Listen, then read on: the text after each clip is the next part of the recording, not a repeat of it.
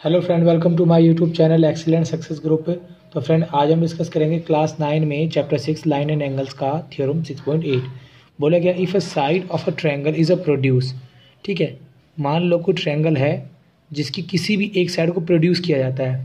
ये मान लो मेरा ट्रैंगल पी क्यू आर है, ठीक है? मैं प्रोड्यूस कर देता हूँ, जैसे कि क्यू आर को मैंने प्रोड्यूस कर दिया।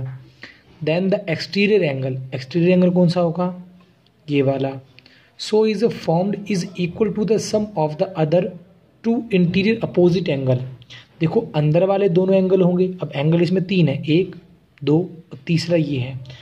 क्वेश्चन में क्लियरली बोला गया अपोजिट लेना है। मतलब ये वाला जो एंगल है, इसके साथ वाला एंगल नहीं लिया जाएगा। अपोजिट लिया जाएगा। ये वाला एंगल और ये वाला एंगल बोला ये गया है कि इन दोनों एंगल का सम इक्वल है इस वाले एंगल के। ठीक है? ये हमें प्रूफ करना है। ठीक है फ्रेंड तो गिवन है मेरे पास सबसे पहले। गिवन दिया है ट्रैंगल पी क्यू आर त्रिभुज पी क्यू आर में। ठीक? अब गिवन तो सिर्फ़ इतने ट्रैंगल है। प्रूफ करना है। ट्रू प्रूफ सिद्ध करना है। सिद्ध करना है कि एंगल पी और एंगल क्यू का सम इक्वल है। जैसे कि मान लो इसको ऐसे दे दिया। ट्रायंगल पी आर एस के इसके इक्वल है। इनको इसको शॉर्ट में समझने का मतलब ये कर लेते हैं एंगल वन इसे एंगल टू और इसे एंगल थ्री कि एंगल वन और टू का सम इक्वल एंगल थ्री के ये प्रूफ करना ज़्यादा आसान होगा। ठीक है, ये हमें प्रूफ करना है। तो इसे प्रूफ करने के लिए फ्रेंड मैं दो अलग अलग स्टेटमेंट का यूज़ करूँगा। पहली स्टेटमेंट कि ये मेरा ट्रायंगल है, इसका नाम पी क्यू आर इसका नंबर एक मान लिया, इसे दो दे दिया। तीन यूज़ कर चुका हूँ तो इसे नंबर देता हूँ चार। ठीक है फ्रेंड मैंने लिखा in triangle P Q R त्रिभुज पी क्यू आर में। तीनों का जोड़ angle one plus angle two plus angle four तीनों का जोड़ किसके बराबर होगा? एक सौ अस्सी डिग्री के। रीजन में आएगा एंगल सम प्रॉपर्टी ठीक है? हिंदी में बोलेंगे इसको कोण योग गुण धर्म से।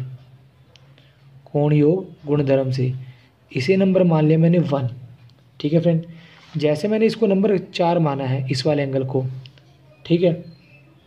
दोबारा से मैंने इसे यूज़ किया। ये मेरी लाइन है पी ये आर ये क्यू और ये एस यह एंगल थ्री है, यह एंगल फोर है। एक लाइन के अगर दो टुकड़े हों, दोनों का सम कितना होगा? 180 डिग्री। रीजन में लीनियर पेयर बोले तो रेखिक योग में। क्योंकि एक सीधी लाइन 180 डिग्री की इक्वल होती है, ठीक है? एंगल चार प्लस एंगल थ्री बराबर होगा एक सौ अस्सी डिग्री के। रीजन में आ जाएगा लीनियर पेयर लीनियर पेयर यानी कि रेखिक योग। रेखिक योग, ठीक है फ्रेंड तो इसे नंबर मान लिया दो। इन तीनों का जोड़ भी एक सौ अस्सी के बराबर है। इन दोनों का जोड़ भी एक सौ अस्सी के बराबर है। तो मैंने लिखा फ्रॉम वन एंड टू समीकरण एक और दो से। इन तीनों का जोड़ एक सौ अस्सी के बराबर, इन दोनों का जोड़ एक सौ अस्सी के बराबर। तो मैंने दोनों को इक्वल कर दिया। One plus two plus four तीनों का जोड़ इनके इक्वल है। फोर प्लस थ्री के। तो देखो फ्रेंड फोर इधर भी आ रहा फोर इधर भी आ रहा, दोनों तरफ़ फोर आ रहा है। तो फोर से फोर कैंसिल हो जाए, क्योंकि प्लस वाला उधर जाके किसका हो जाता माइनस का।